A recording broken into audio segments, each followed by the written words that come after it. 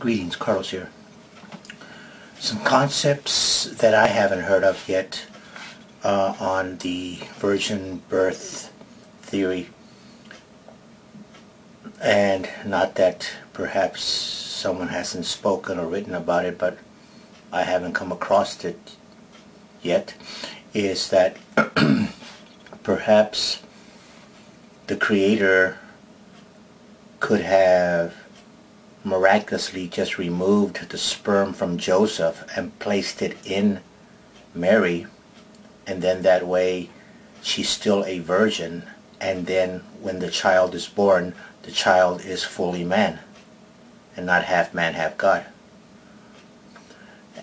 Another scenario is that uh, Joseph and Mary and Mary were fooling around.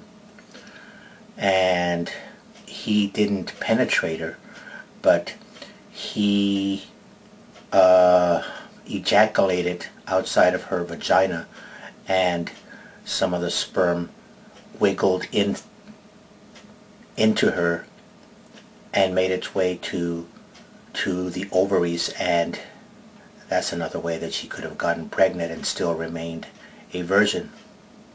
So these are just very far-fetched uh, concepts, but they are possible.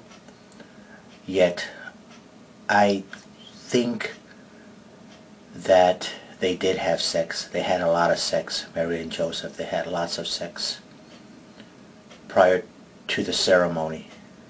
Not just once, but but a few times. But an, anyway, what do you all think about these uh, two different uh, concepts?